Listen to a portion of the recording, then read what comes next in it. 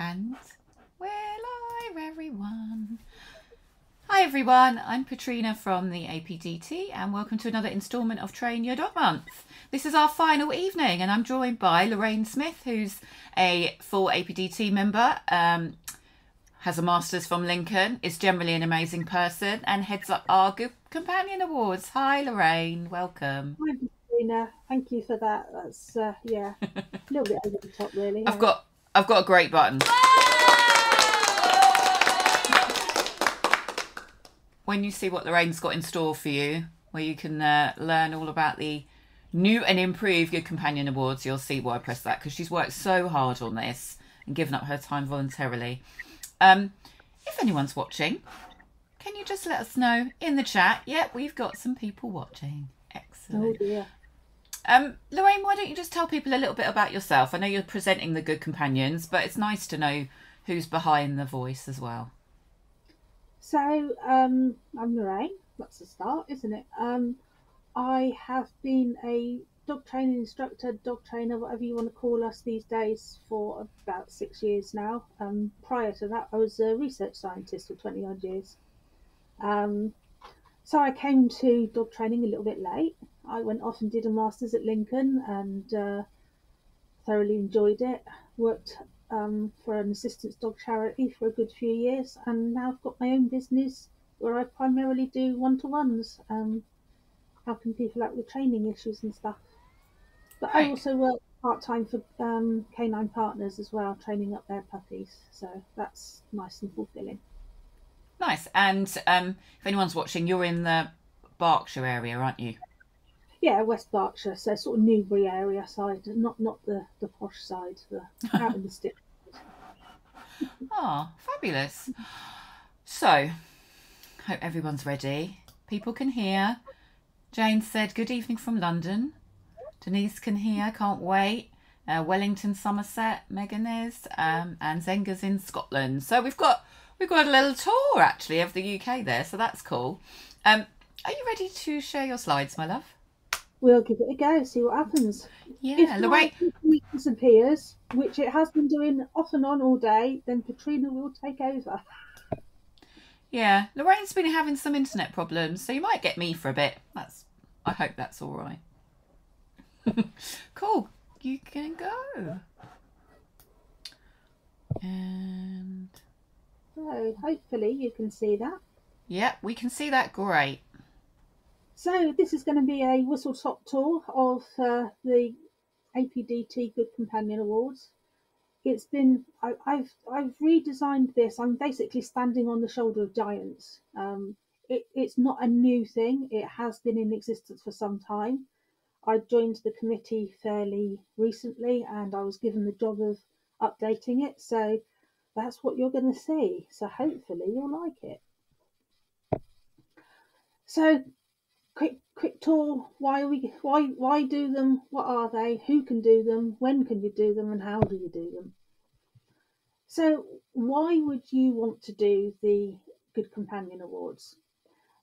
As many of the previous trainers over this um, training month have said you know this is how you train your dog. And a lot of what you have to do is measure how you're getting on. This is a really nice way of measuring your progress uh, in training your dog and hopefully it'll give you a sense of achievement to actually um, get through an award and get the award certificate etc and it's basically about having fun with your dog because you know that's what it's all about. They're called good companion awards because we want the dog to be your good companion but you want to be a good companion for your dog too. So on the left here you can see our newly hot off the press um, pdf that will be available for guardians to look at that tells you about the awards. So they're basically awards that you can achieve as a pet dog guardian um, together with your dog. So you will have an assessment, but it's not very formal. It's all about your dog training skills, how you, um, what your knowledge of dog welfare is, behaviour, all round good companionship basically. And your dog will be assessed on, you know, how it gets on with you. So, who can take the awards? Anyone. Anyone with a pet dog who wishes to can take one of these awards. They are written in such a way that hopefully, if there's enough wiggle room for people with dogs with special needs, for example, um, if you've got a deaf dog, they obviously can't respond to their name, but we can do things like just giving them a gentle touch and they respond to that. Things like um, we don't ask you to get your dogs doing any particular positions. So it's about the transition from one position to another, which may be different for a greyhound compared to what a Labrador wants to do, or a Chihuahua, or any other kind of dog. So it's about inclusivity. Any full member of the APDT can teach you. Anyone working under a full member of the APDT can teach you, as long as they're doing the kind, fair, and effective methods and following the APDT code of practice. The only people who can assess you is a full member of the APDT. So if you're not familiar with how to tell whether somebody is a member of the APDT, they should, when they're displaying the badge, have their name and their membership number underneath it. So that's a nice, easy way for you to to tell whether your person is legit or not. Where can you be assessed? Well, anywhere really. In your home. Some people, like myself, only work on a one to one basis. So we can work in your home, we can work in your local area. So wherever is appropriate for the assessment, it doesn't have to be like the traditional puppy class. So puppy classes, you can do it in a class setting with your assessor if that's how they want to set things up. And COVID made the way that we change, the, the way that we work change so much. And a lot of people work online. That too can be accommodated. You can do the awards um, using Zoom or whatever platform your trainer would have, or, or even by submitting videos if that's the way they prefer to work. It's about asking your APDT um, dog training instructor what it is that they would like to do. You've got four levels of the awards. So puppy and foundation are basically very similar. Um, the puppy award is for dogs who are up to seven months of age by the time they take the award. And the Foundation Award is very similar, but it's for dogs who start at the age of six months or over.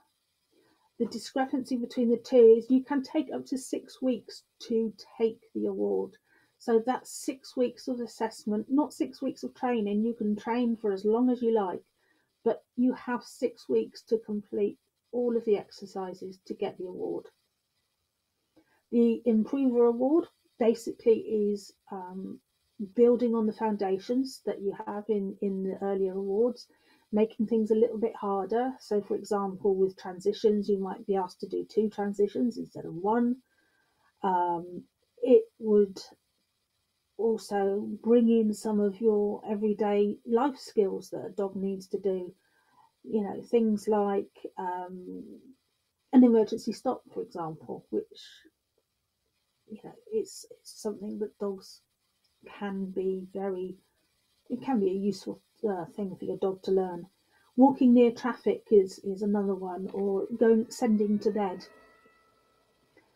Going on from that, the intermediate level is the next one up. Um, in the intermediate level and the advanced level, there are there is a section that is um, not compulsory. So there are nine different areas. For example, gun dog work, scent work, agility, hoopers, rally, trick taming, assistance dog training, heel work to music, obedience, you have to pick three of those. So between you and your trainer, what they have available and what you can do, that is, um, you know, three of those. So it's about having fun with your dog. It's trying new things out. It's trying things that you have not done before. And then, of course, the advanced award basically builds on um, what you've done in the intermediate you probably noticed that they've all got their little colours. So they are the colours of a rainbow, starting from uh, violet So that means there are a couple of colours that could possibly go on after the advanced if we got to the point where somebody says, well, how about doing a few more? What do you get? A nice certificate. Look at that. Um, we've designed new certificates. Your in trainer can put their own logo on there if they wish to, but everybody gets a similar certificate. Everybody has the same standard that is being looked at, and these beautiful rosettes as well with our um, new Good Companion logo on them as well. So you get a certificate and a rosette. And here's a few little videos just to show you some of the criteria. Um, my scruffy old boy. So transitions might be sit from a down, for example, down from a sit, or you can do a stand or sit from a down. You're allowed to use treats whilst you're doing the awards. Not to do the luring, but you can use the treats to reward them all the way through. We're not about obedience for the sake of it. This is young Dexter doing the leave it, and he was told that he could take it, and now he's being asked to drop the slipper.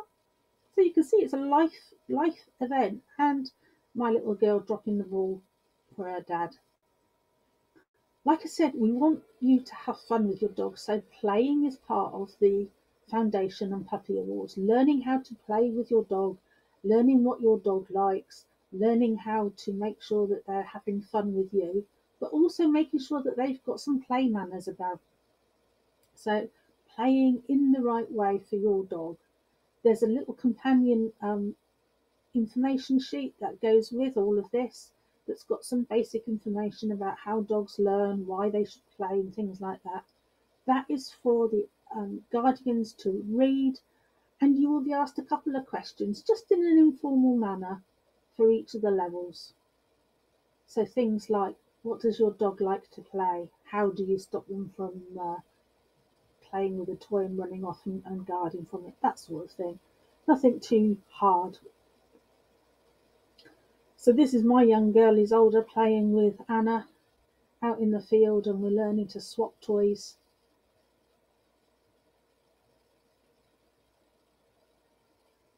and young Dexter again, showing manners through a gate. So it's about everyday things that dogs can do. So he's showing his manners. He was told he could come through. And it doesn't matter which way the gate goes, whether it's towards him or away from him. Here he comes. Please excuse my dirty car. My husband is getting my dog out of the car, again showing manners. She's not rushing through the gate. She looks a bit sorry for herself. That's because she says, Mum doesn't normally film me when I'm getting out of the car. What's going on? Here we have a bit of foundation, loose lead walking. Lovely Sophia doing it with my girl.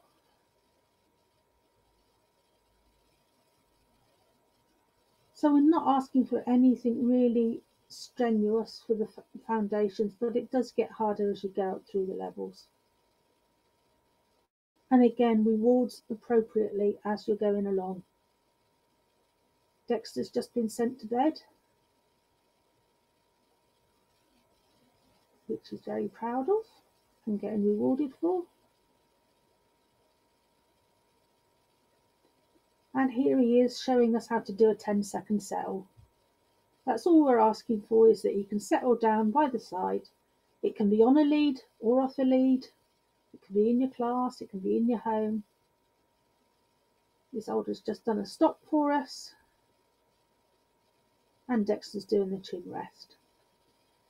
So that's just some of the things that you could be doing in your um, award.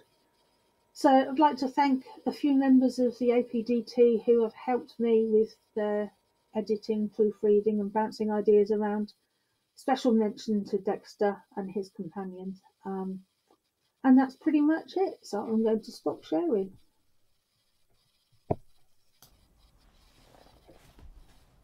Thank you, Lorraine. Really enjoyed that. That was great. I thought it gave a really good overview of what the awards are about. Um, you've got have you got the rosettes there just to uh, wave your rosettes? Have you got them there? If of everyone... course, I chose the one. I, you know, because I my colour. But yeah, they're beautiful, aren't they? They're yeah, really, they're really lovely.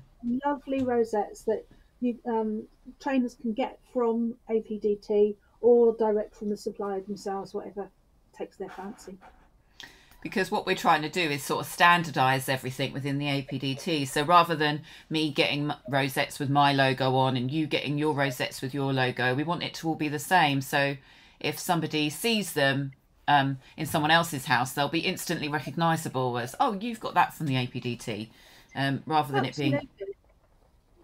Yeah. Instantly recognizable, and you know that because we've set out the standard in such a way that all of the trainers are working to the same standard, you know that if you've done it in West Berkshire, or somebody's done it in Scotland, or somebody's done it in Somerset, they're doing the same thing. So you know it's the same. It's the same thing for every. There is room for people to put their own logos on the certificates, but other than that, yeah, it's mm. all standardised. Fab. Okay, so we've got a few questions. Um, and I'll ask Esther's easy one first, which is can we can we teach the levels outdoors? Absolutely, yes. You can teach them wherever you like, wherever is safe to do so.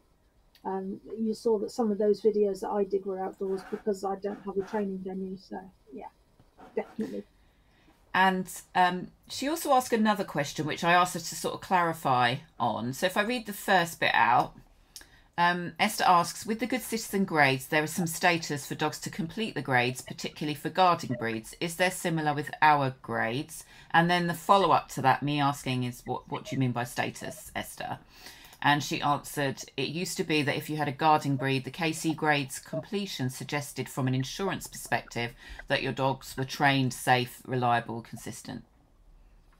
I hadn't heard that, I must admit. Um, there is no guarantee that any dog is trained to a particular standard because every dog is an individual.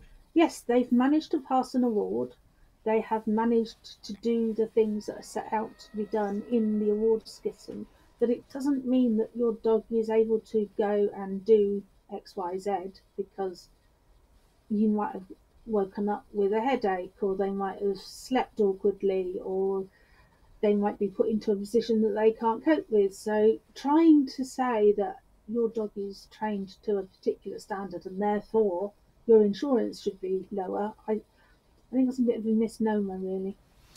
I've got a feeling that it might have been a bit like in the old days when we used to get, I used to have classic cars and we used to get car insurance and they used to say, you're a car club member? And I'd say, Yes, I'm a member of this club. So it sounds terribly sad.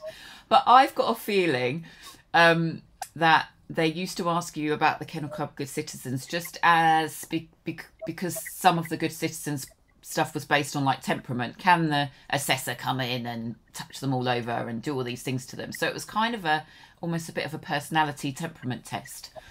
So I've got a feeling it might have been that. I don't know if it's still something that's available. Um, but I think it's a really great question, actually, Esther, and it might be worth us looking into to ask insurance companies if mm. there was some way of, of, of working with that. I think, yeah, it's, it's a possibility.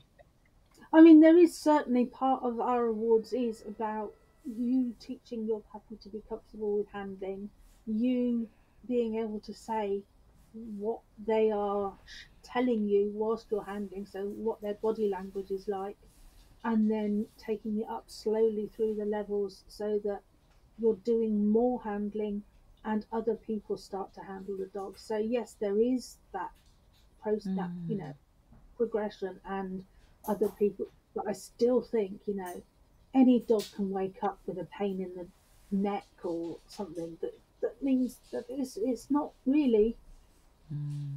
what they can do on one day isn't necessarily the same as what they can do on another. yeah. Yeah, I guess if you look round Europe at think places like Switzerland, where if you have a dog, you have to do this certain amount of training to prove that you're a good dog owner. Or wouldn't it be lovely if we had something like that in the UK? a lot of paperwork. Absolutely. so, um, uh, there was Melanie has asked, uh, is there any promotional material available? Coming So- soon. Coming soon is the answer. Um, the APDT website will soon have uploaded um, a section for the public to be able to read about what's going on, and a section in the members only area for them to download their certificates and buy their rosettes and get their um, booklets and stuff.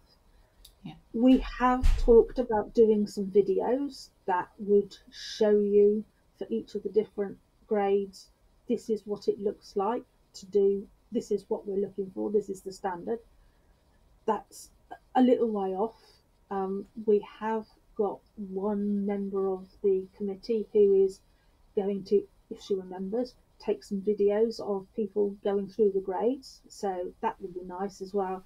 So it's not beyond the realms of possibility. We just don't have anything yet other than our handouts um, booklets and, and such like. Um, and Melanie also asked, can clients submit video evidence for assessment? Yes, if that's the way you work, absolutely. Um, if your trainer works normally by giving you a task and telling you how to do it down the line, and you submit a video, absolutely. Yeah, I think um, what we're probably not doing is allowing owners, guardians to sign up to do it themselves. I think is that it's not something that you would like self study and pay the APDT directly for. It would be clients come to you, come to our trainers, um, and get trained by them. And whether that's someone like me that just works online, um, or whether it's somebody that does it in person, it, it it'll be on that. It'll be that kind of way of, of working. That's right, yeah. Yeah. Although, you know, for the foundation and the exercise, if you if you take on a rescue or you've had a dog for some time and you've done the training yourself, as long as you find an APDT trainer to do your assessment and they're willing to do the assessment and you can negotiate that, six six weeks of assessment to do the thing, you know, it's it's down to individuals. We try to be as flexible as we can so that we're as inclusive as possible.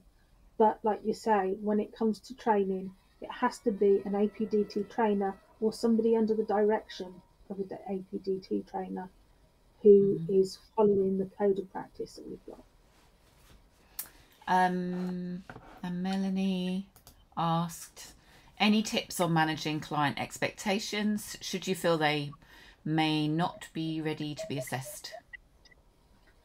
I guess, yeah, client expectations is a wonderful thing, isn't it? You know, they can expect all sorts of things. Um, and it's like an everyday life as a dog trainer. You try to manage your people's expectations, you try to let them down gently when they can't. One of the reasons for doing the assessment over six weeks is because hopefully they will realise for themselves, you know, I wasn't able to do let's say um, a 10 second settle on the first week. So we've tried it on the second week. I still can't do a 10 second settle. You've got six weeks to try that. So managing their expectations would be around this is the standard. We have set it out quite clearly in the standard what you have to get to. It's about working towards making sure you can do it, really. Perfect. Yeah. So nobody, uh, unlike other assessment procedures, policies, tests, it's not an exam that somebody sits on one day. It's an ongoing assessment. So think of it as being more like um, modular coursework rather than GCSEs. Although they're quite modular now, aren't they? There's no like final test, like a you've passed, you haven't passed, all in one day. It's okay. We're building up to this. So, and, and everyone's got their different ways of working. People might do you know a, a beginner's course before they actually start assessing for the APDT. What are we calling our first one, Lorraine? So foundation for the older Foundation, dog, yeah. for the babies. Yeah. So, so you might run a, an adult's life skills, which then leads into a foundation. And really, by the end of the life skills, they might well be ready to do the foundation. But you, you know, but you assess them over the next six weeks, and then at the end of those six weeks, you might have got them ready for the next level up, and then they make sure that's there for. Do you see what I mean? Everybody's got their own way of working, but for me as a trainer, when I was teaching lots of Greek classes, that's probably the way I would look at it. Like you're always you're wanting to sort of go over and above in the next one so that everybody passes. So it's just a way of teaching, isn't it? The only thing that we do ask is that you don't assess a particular skill on the day that it's taught. Right. So you spend half an hour learning how to do a 10 second settle, and after you've spent half an hour doing that, you assess it and it's fine. You need to at least go away and come back again the next day. you know, um, it, it's yeah, in a sense, I guess, to some some. There may be some trainers who would rather do it all in one day. Um, um, so Rizia was just asking, um, when do we expect rollout to be? Oh, do you know what? Lorraine's internet was going funny. And I think it's done it. I think it's fallen over. Let me just find out. She said there was a man up a pole. Here she is. Well, we knew that was going to happen, didn't we? We did. so I'll uh, I'll just read out Rizia's comment again. Um, her 4G is bad tonight. If anybody watched Rizia's talk before, you know that she lives sort of quite rurally. Um, when do we expect rollout to be? Thinking ahead, timing for a puppy class. So all of the material is ready now. It's mm. a matter of just getting it on the website. So within the week, mm-hmm. we had we did have a um, a deadline, an aim for today, but unfortunately, sickness and stuff across Christmas holidays didn't help. But within a week. Yep, our fabulous designer Tracy's been working away at it, um, so it's pretty much all there now. Yeah. Okay. Yeah. LOL. Man up a pole. I had a man in my box the other day, and my internet went off. But we won't talk about that. I said you've got a man up a pole, Lorraine. We've discussed it. I'm sorry. It's the last night. I'm waiting for a glass of wine and feeling a bit cheeky. So, um, you should, yeah. um, and Esther just had a comment. Some autism charities use Good Citizen as their benchmark of competence. Could we promote in their direction as well, please? Yeah, I have actually experienced that with some people that had assistance dogs. They said, or also rescues say you need to go to a trainer that's going to offer good citizen scheme. So I think that's a great suggestion, don't you, Lorraine, that we could approach? Oh, absolutely. Yeah. Um, I think so many rescues now, some of the really good rescues are sending their people to APDT to become APDT members. So hopefully mm. we can get the word out amongst them and into the rescue world. And absolutely, I think it's a much more life skills based thing than Good Citizens. There's a lot less of the strict obedience that used to be in the Good Citizens, or at least when I did it 10 years ago. Um, it's a lot more realistic, I believe. I mean, people may argue with me once they've read it, but hey, you know, mm-hmm. that's my belief anyway. Great. Um, and then just a comment. Are trainers able to advertise their classes using the APDT name and or level, e.g. APDT in, or just improvers? If you're a full member of the APDT... Sorry, I should let you answer this one, Lorraine. And she's gone, so I'm going to answer it. um, are you there? Are you there, Lorraine? Ooh, I'm back again. You're back again. Did you see the question? Um, About oh, yes, I did. Yeah. So, want... as a member of APDT, you have to show your uh, um, membership number and uh, badge wherever you, if if you want to claim being APDT. It is a good companion award. So, as it says on the um, on the uh, rosette. You've got your, your good companion awards and your improver. So hopefully you'd want to use them both. It's it is about the APDT and their awards. It's not about sending people off to do training and yeah, they may be APDT members, but hopefully our members want to promote APDT as much as we want to promote our members. Um, I don't. I'm not sure if it's clear, Melanie, if you are a member or not. You do need to be an APDT member to run those awards. So, in order to use the Good Companion name and to order rosettes and get certificates and that kind of thing. I'm sorry, we have quite a large membership, so I don't know everybody. Forgive me. Um, yeah. Can I advertise a class called Improvers? I don't know. Denise, can you? Great, Melanie. Then yes, you could. um, we we don't trade. We haven't trademarked levels of names. I think it would be a bit difficult to trademark foundation or the word improvers. Um, mm-hmm. But yeah.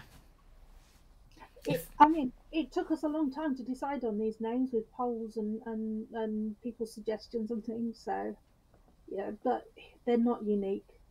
Colours of the rainbow aren't unique. You know, it's it's what it is. It'd be nice if people decided to do our stuff because that's what we're here for. But yeah, our trademark is APDT, isn't it? That's mm-hmm. that's really it. Yeah. Wonderful. Do we have any other comments or questions about the Good Companion Awards? Um, obviously, because this is a changeover scheme, if you already have stock of rosettes, then you know use those up. We're not saying chuck them all in the bin. That's very wasteful. Um, but we would hope that you'd be on board with the new style once you've used up your stock. So, yeah. Is there anything else you'd like to say, Lorraine? I hope people enjoy doing this. I really do. I I I ate, slept, and drank this stuff for quite some time, trying to get it. So it would be nice if people are enjoying it. I know there are some people who have been um, snipping at my heels, waiting for them to come out, and I'm sorry it's taken so long, but hopefully you can see why. But yeah, go out, enjoy training your dog. That's what I say. So we've now had a couple of questions come in. Um, Denise asks, can I buy rosettes at Crufts?" So what we're planning to do is, yes, we will have a stock of rosettes at Crufts for people to pick up. It won't be a matter of rocking up and buying them there. It'll be letting us know and letting us know how many you want and picking them up from our stand here. Um, and Colin is watching from Ontario in Canada and said, Can you be a part of the APDT in, in Ontario? If you want to fly us out, quite happy to move there. Uh, we're the APDT UK, Colin. Yeah, sadly, it's uh, it's a UK thing. Yeah, um, I'm not sure what uh, awards APDT Canada do. If they're under APDT International, then I think you have My Dog Has Class, if that rings a bell. Um, anybody that's watching that knows more than me about that, feel free to just add some comments in. But I think it's, or that might be the American Kennel Club. It's a big pond. Um, and James just said, Hi, Denise. We're hoping to take some to Crufts. Um, and Rizia said, Thank you so much for all your hard work, Lorraine. Thank you. Thank you. Thank you. Should we do another one? I, I just like that button. Um, all right. Well, if we haven't got any more questions, that just leaves me to kind of close up and um, say thank you to all of the speakers that I've had this month. I think it's been 26. Um, it's been a whirlwind. It's been great. We've had tech fails. We've had some amazing speakers. We've had lots. I've learnt lots. I've really enjoyed doing it.